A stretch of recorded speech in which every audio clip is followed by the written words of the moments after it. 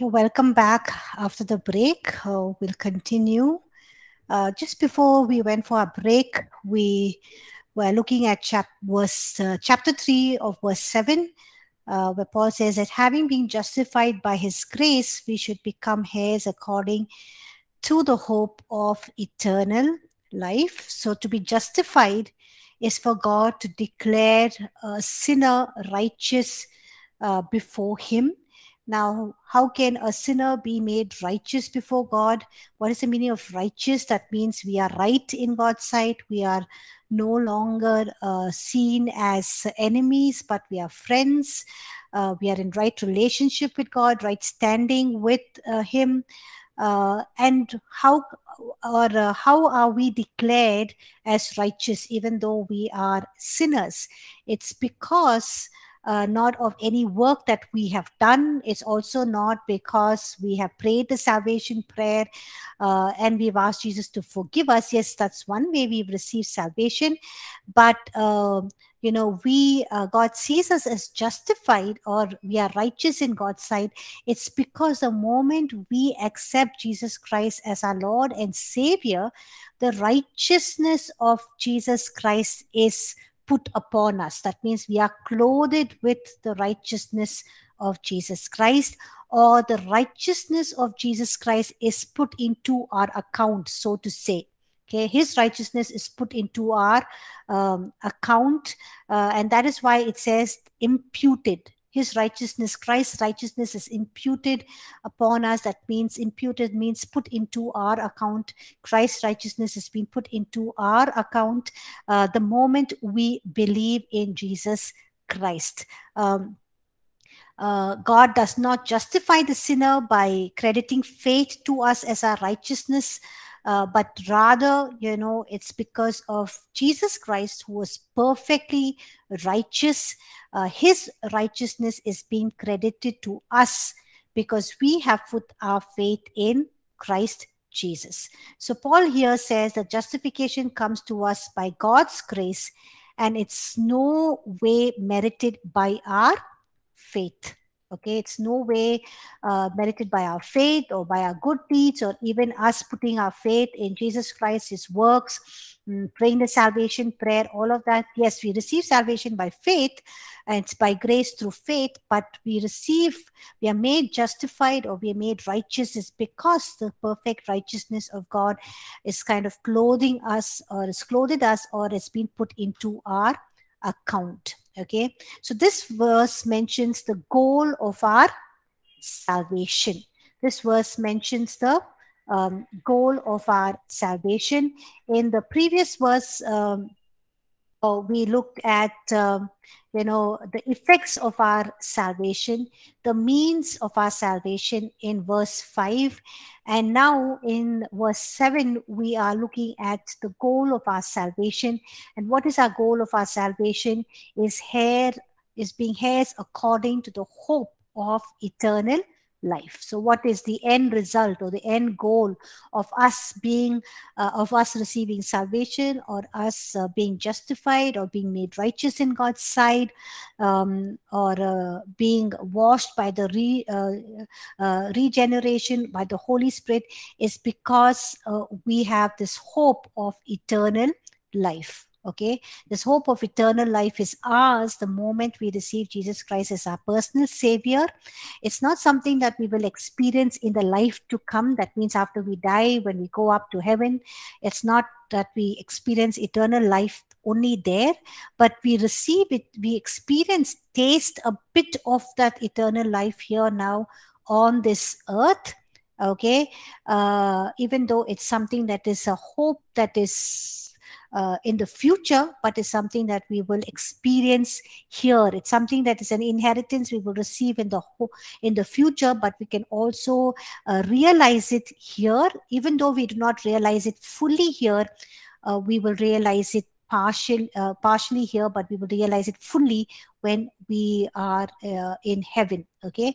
So what is uh, the goal of our salvation? It is the hope of eternal life and eternal life is not something that is an eschatological hope. That means something way into the future that we will experience uh, but it is something that is a realized eschatology. That means we will realize it here now in the present after we have received salvation received new birth the moment we are born again made new creation we will receive it. And also it's something that we will uh, will experience it in part here but we will experience it fully once uh, we are in heaven uh, when we are living eternity with uh, god. Uh, so throughout eternity we will experience uh, the hope of eternal life experience our riches in christ jesus now, why does Paul talk about this whole topic of salvation here after he's talked about, uh, you know, uh, submitting to civil government, civil authorities, laws of the land, um, and about good deeds? Why is he talking about uh, salvation? Now in verse 8 he says um, you know this is a faithful saying and these things i want you to affirm constantly but those who have believed in god uh, should be careful to maintain good works. These things are good and profitable to uh, men. So these things are all the things that Paul has mentioned so far. He wants Titus to continuously preach with confidence the truth of the gospel so that people can engage in good uh, deeds. Uh, but the term uh, or the word careful here is, uh, you know, is to reason, is to consider carefully. Uh, and it's a word that is found only here in the New Testament. Okay, this word careful in the Greek is found here only in the New Testament. Um, so it means to reason, to consider carefully. Uh, so if we are to understand, what is Paul saying? If, to, if to understand the doctrine of salvation uh, by grace, it will motivate us to take the thought about how we can engage in good deeds okay? So that means he's saying that you know yes you have received salvation. It's the work of god. It's his grace. It's his mercy. It's his love. It's his kindness. But that should translate or that should motivate us uh, to engage in good deeds in doing good things. So a believer must constantly think about uh, how to live a godly life um, uh, for the sake of the gospel and uh, Paul affirms again that people are right with God apart from good works, but also that the goal of God for every believer is personal good works. What is Paul saying here is we don't receive salvation by doing good works. We don't we are not justified or made righteous by our good works, not even our faith. But he's saying that you know we received salvation by God's mercy and His grace. But, you know, the goal of every believer should be that they do good works. So if you are saved or if you say that you have faith in Jesus Christ, it should show in the good works that we are doing. It should show in godly lifestyle. It should show in us living holy, righteous lives before God, before man. And it should also show in good works. And we see that in Jesus himself. You know, Jesus, we see that he never condemned anyone uh, he never he forgave everyone he loved everyone he healed everyone who came to him. It says jesus healed them all. He had compassion on them. He healed them all. He never condemned he never judged anybody. He never put down anybody. Um, but you know we see him uh, uh, uh you know even honoring the government uh, law of the land. When they say do we have to pay taxes? He says takes a coin and says you know whose image is found uh, on the coin and they say Caesar. So he says, Give to Caesar what belongs to Caesar, give to God what belongs to God. So we see he even obeys the law of the land. He does not be, uh, rebel against the law or of the government.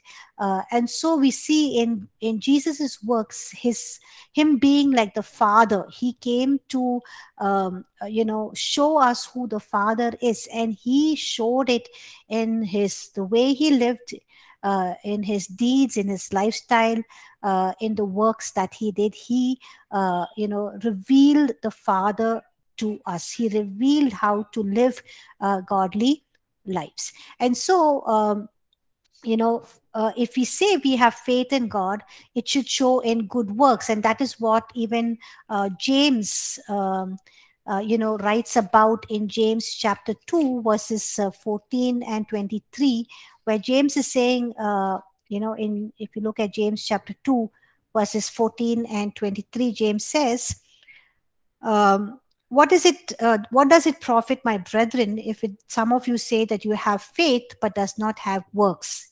Can faith save him? If a brother or sister is naked and destitute of daily food and one of you says to them depart in peace be warm and filled but do not give them the things which are needed for their body.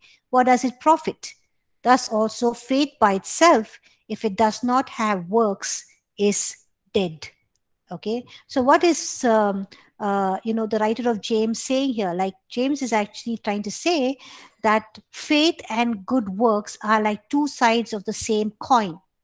Now you take a coin one rupee coin five rupee coin and uh, you know uh, if uh, there's if it's imprinted only on one side of the coin is the coin uh, valuable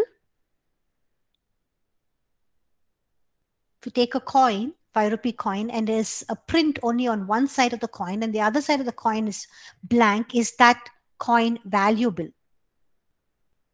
Yes, no. Thank you, Aren. Yes, that coin is not valuable. It is worthless. It's of no value. It's useless. Why? Because it's not printed on the both sides. It's a counterfeit coin. It's a fake coin. We cannot use it. So Paul is also trying to say that if, you know, faith and good deeds is like like that. It's both sides of the coin.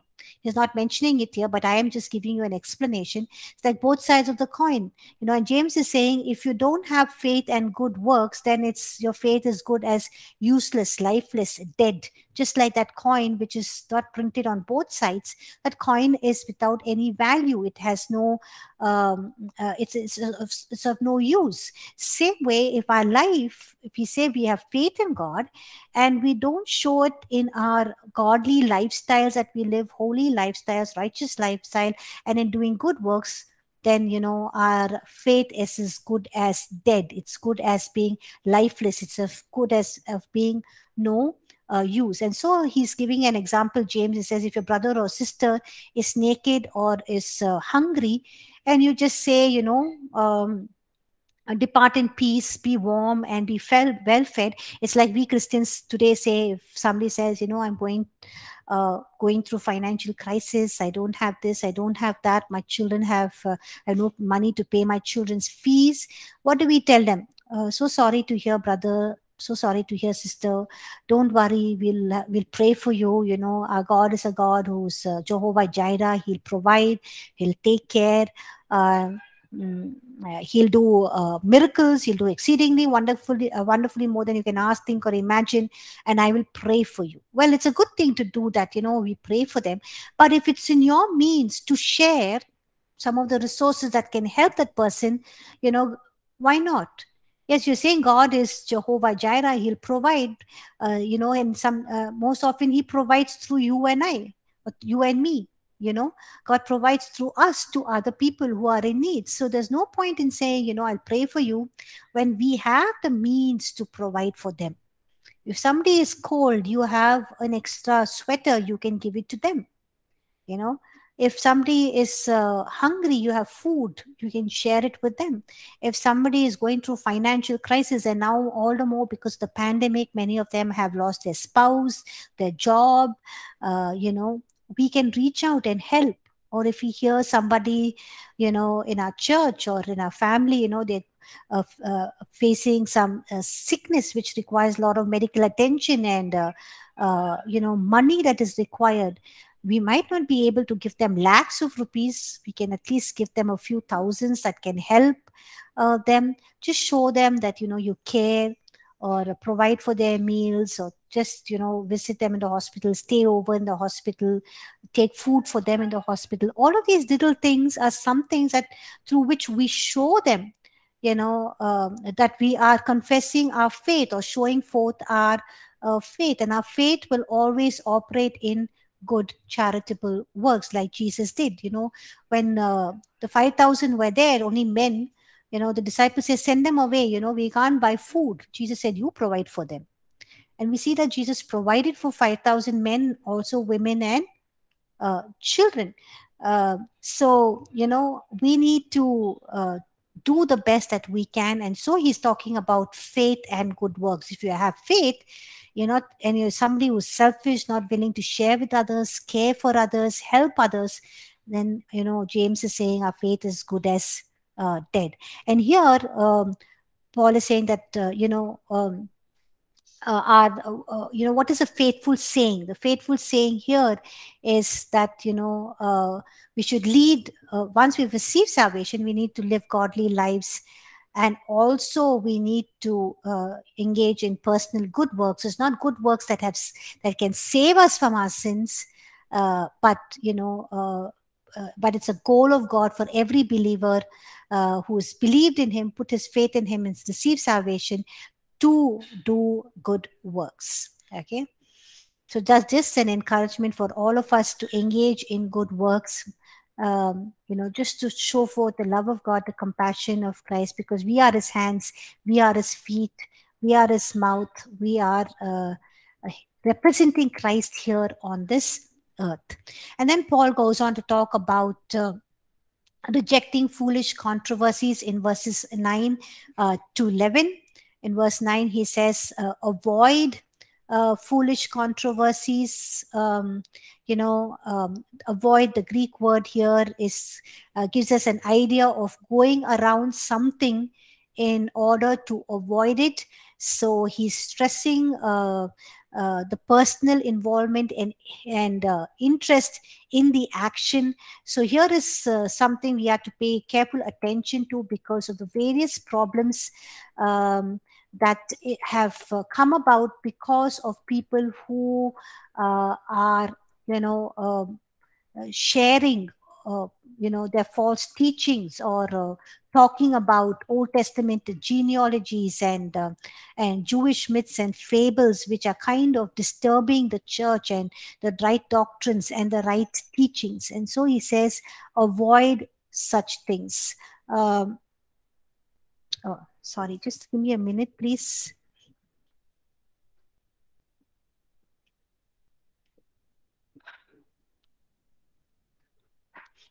Yeah.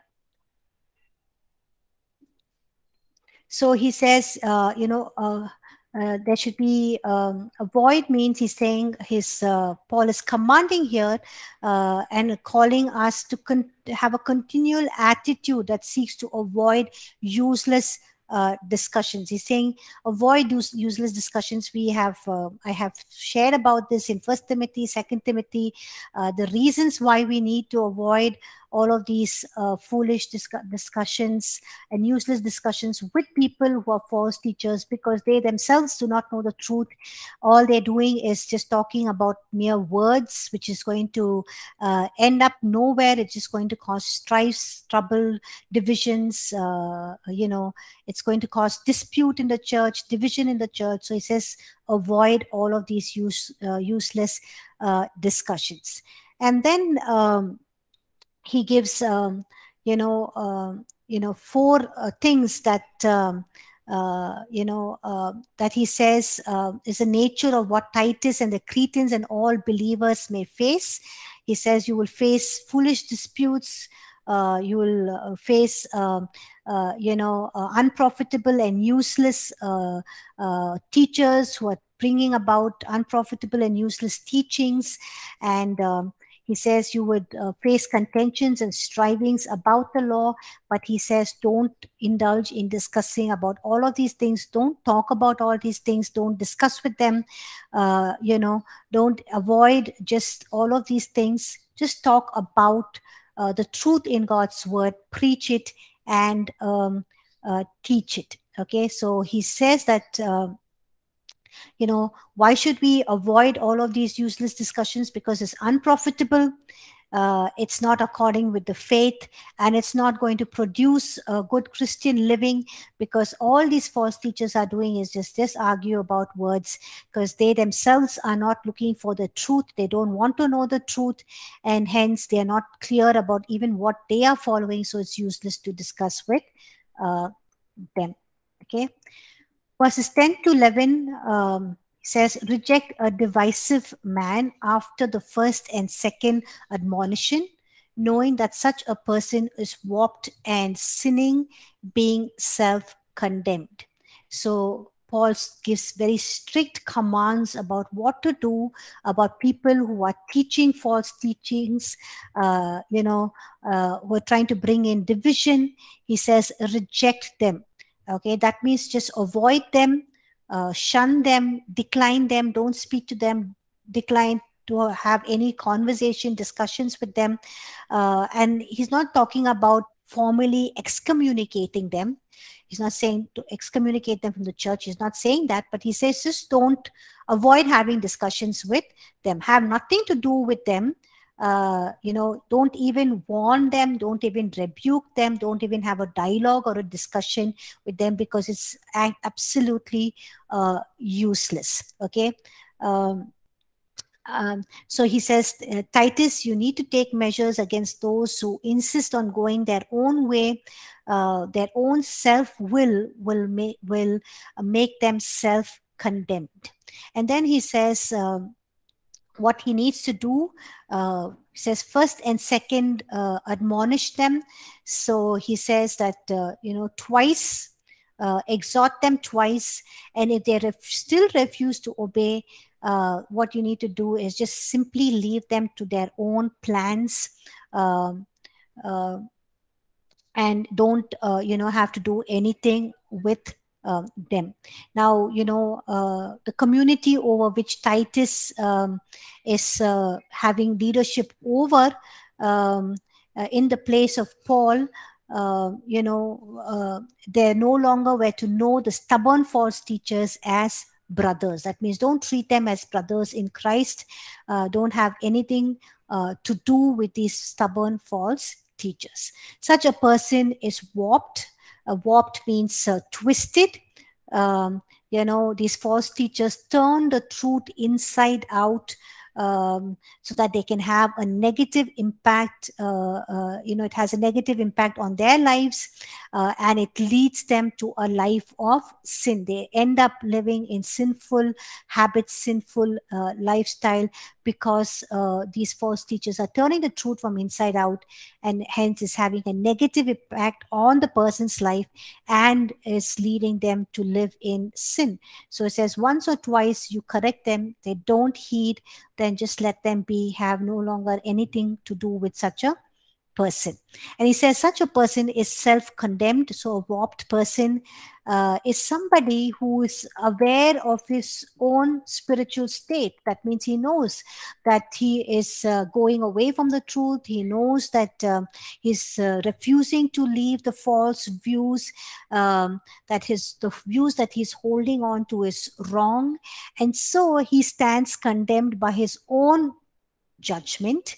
Uh, However, the Greek term here about self condemnation may also be understood as a means that the twisted teacher or the warped teacher uh, is condemned by their own behavior okay? So they're condemned by their own behaviors they're condemned by their own judgment because they know what they're doing saying thinking is away from the truth okay then verses 12 to 14, Paul is talking about providing for God's people so he's talked about how, about faith, uh, about uh, good deeds. And he's saying that, uh, you know, we've received salvation by grace, by faith. It's not by good deeds. But once we've received salvation, uh, you know, uh, uh, you know, God requires us that we live holy lives, righteous lives, but we also indulge in good works, in good acts, in good deeds. And so he's giving them an opportunity, the church at Crete, to act on what he has uh, just taught them and just told them. So he says, I send Artemas, verses 12 to 14. I send Artemas to you uh, or Tychicus, be diligent to come to you. Uh, uh, when I send Artemas to you or Tychicus, be diligent to come to me at Nicopolis, for I have decided to spend the winter there. Send Zenas the lawyer and Apollos on their journey with haste, that they may lack nothing, and let our people also learn to maintain good works to meet urgent needs, that they may not be unfruitful. Okay, so here we see, like we said, mentioned in um, uh, first and second timothy that you know paul does not uh, labor alone. He always works with a good team of people. He has uh, good relationships with people. He has a lot of co-workers a lot of people he has trained he who has nurtured in the faith sons and daughters in the faith and people who work alongside him. So he works along with them uh, with a team of people uh, those who are committed to the ministry, who labored with him for the cause of the gospel, for the cause of Jesus Christ. And in these verses, uh, Paul is mentioning a few of them in his name. He's not talking about the entire team. Uh, so he's mentioning about Artemas. Uh, there's uh, the only reference of this man, Artemas, is uh, here in this um, uh, in um, Titus chapter 3, verse 12. Uh, so, from his name, people guess that he is a Gentile, uh, but we see that. Uh, uh, you know, Paul considered him as a worthy replacement uh, for Titus. Um, so we can say that, you know, because Paul saw him as somebody who could replace Titus to take over the leadership of the churches at Crete, we can say that this Artemas was somebody who's competent, knowledgeable, faithful, a mature man of God. Um, and uh, Paul tells uh, Titus to meet him in Nicopolis, and then they were planning to head north to Dalmatia. Okay, uh, so we see that if you know Titus was going to leave and go along with Paul uh, to Nicopolis, then he needed somebody a worthy replacement, and Paul looks at Artemas as that good worthy uh, replacement in in Crete. Then he mentions about Tychicus. Tychicus, uh, Tychicus was uh, another faithful Gentile believer. Uh, from uh, Asia, which is Western Turkey in our time today. Uh, he had traveled along with Paul and um, other men.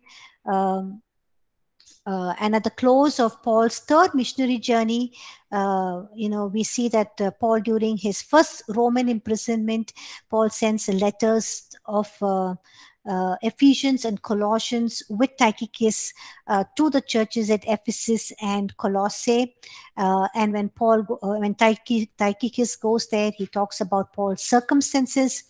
Uh, then we see later Paul sends him to Ephesus to relieve uh, Timothy so that perhaps Timothy could join Paul in Rome before he is martyred or executed.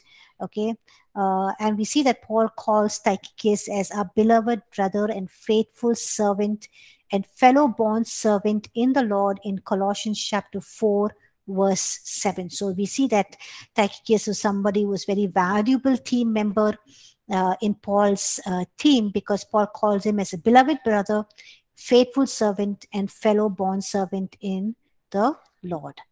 And then Paul mentions about Zenas, the lawyer. Um, Again, Zenas the lawyer is the only reference here in the Bible. Uh, and people say that because of his Greek name, he could be a Gentile lawyer.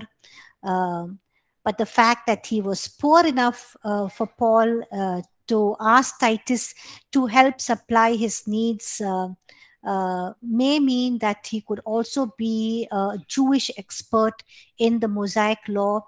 Uh, and we see that he may have set aside his uh, career as a lawyer, um, uh, you know, long before to accompany Apollos on uh, this trip. So he's going to go on a trip along with Apollos. Um, uh, and maybe these two men probably carry the epistle of Titus to uh, Crete. So they may be coming to Crete. And so Paul is uh, telling Titus, you know, please help these two men. Now, Apollos is a Jew from uh, Alexandria uh, in northern Egypt. Uh, he's a very, very good speaker. Uh, he's very well versed in the scriptures, in the Old Testament, uh, Torah, the law. very fervent in the spirit. We read about him in Acts chapter 18, verses 24 and 25. Uh, and he came to Ephesus, where Paul's teammates, uh, Aquila and Priscilla, you know, this couple, Aquila and Priscilla, uh, were there in Ephesus, and they uh, took upon themselves to teach um, uh, Apollos uh, about Jesus Christ. He knew well about the Old Testament. He was a very learned man, but teaching about Jesus Christ, the way of God, more accurately. And so we see that, uh, you know, he was a very teachable and a humble man, even though he was learned, uh, you know, a good speaker. He knew much about the Old Testament, but he had a heart to learn, humble heart, a teachable heart. And he also had a powerful uh, ministry in Corinth. Okay. And Paul mentions about other people, maybe he's referring to people, the Christians in uh, in Crete, um, uh, and uh, they were to learn to take the lead in in good works in good deeds. Uh, and that's what he says maintain good works. So again paul is repeating for the last time uh, that christians or believers must take uh, the lead in doing good works. Uh, as he mentioned in the presence of zenas and apollos and their needs for their journey and ministry uh, just by the church in Crete provide for their journey and for their ministry. Uh, you know, they will provide and there will be an excellent illustration or an example uh, uh as believers in Crete to engage in good work. So Paul is reminding them and giving them the opportunity or the privilege to do this. Okay, and then Paul ends his letter uh, by saying, "All who are with me greet you. Greet those." Uh, who love us in the faith. And he says, Grace be with you all. Amen. So, all with me. Uh, we do not know all who are with Paul. Uh, and uh, we also do not know where Paul was. Uh, you know, he may have been in Macedonia or Achaia, uh, but we know that he was not alone. Uh, besides Zenas and Apollos, we we think that there was you know, there was a church where Paul was staying and he fellowshiped with these saints. And of course, we know that Zenas and Apollos were with him because they were taking the letter uh, of Titus that Paul had written uh, to Crete to give it to Titus. Okay. Verse 7, it says, Those who love us in the faith. Um, uh, so here Paul's mentioning about his friends or even fellow saints in Crete. Mm. And then Paul closes his um, letter, uh, closed all of his letters mentioning about God's grace. Um, it was not something that he used as a polite formality, but the Greek word uh, literally means the grace be with you all. Okay, so the grace is the abundant, amazing, sustaining, all sufficient grace of the Lord Jesus Christ. And it was this grace that Paul, who was a great persecutor of the church, uh, that God had reached out to him on the road to Damascus and changed his heart. Uh, he completely undeserved it, but uh, Paul deserved all that Paul deserved was God's judgment, his wrath, but he received mercy. And so he knows this uh, understanding of this word grace that means uh, he for him grace uh, means so much. It's so rich. It's so abundant for him because he deserved god's punishment and judgment and wrath but he received grace. And we also see that it's god's grace that motivated paul uh, to suffer all the hardships and all the persecutions of the gospel and uh, to continue to preach and to build and to be an apostle, a preacher, a teacher, uh, a prophet, a miracle worker, uh, and nothing stopped stopped his zeal, uh, and it was because of the grace of God. God's grace, as was shown at the cross, was the only message that uh, Paul preached, and Paul says his grace is sufficient to sustain Paul in all trials, in all difficulties, keep him from uh, the grace of God also kept him uh, from exalting himself uh, as a result of the amazing visions that he had from heaven, uh, the uh, visions that he uh, had from heaven, and the thing visions that he experienced, which he talks about in Second Corinthians chapter twelve, verses one to ten.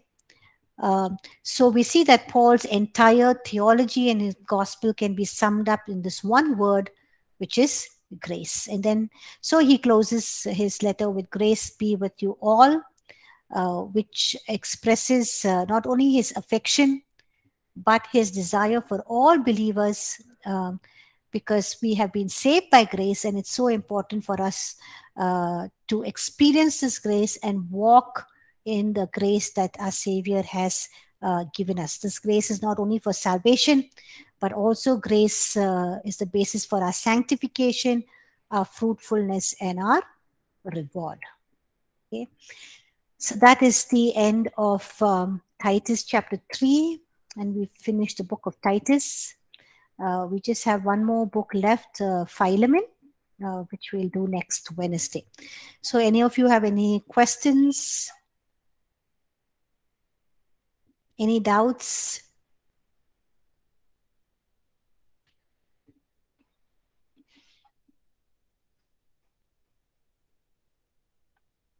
No questions, no doubts?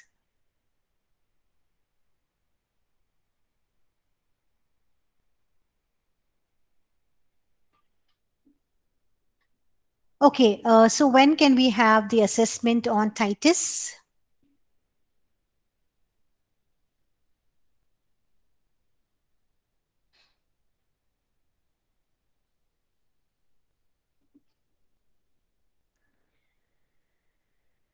Assessment for Titus, when can we have it? Can you give me a date, please?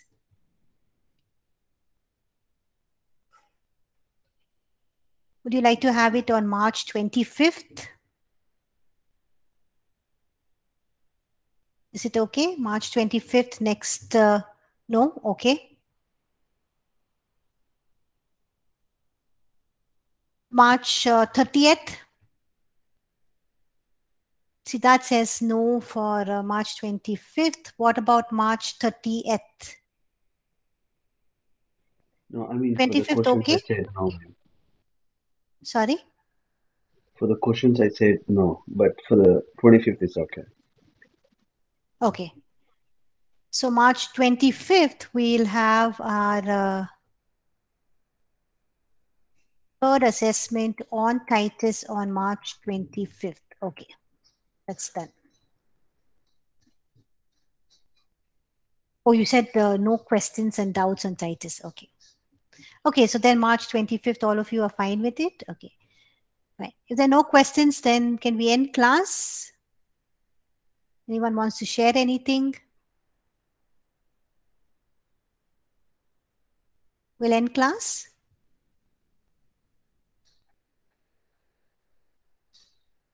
Okay. Okay, since there are no questions, uh, we'll end class here. Thank you all for uh, um, joining class. I'll see you uh, next Wednesday for, uh, uh, we'll begin Philemon and I think we should be able to finish it uh, next Wednesday. So maybe next Wednesday will be our last class. Okay. Okay. Thank you all. Have a good day and the rest of the week. God bless you. Thank you. Thank you.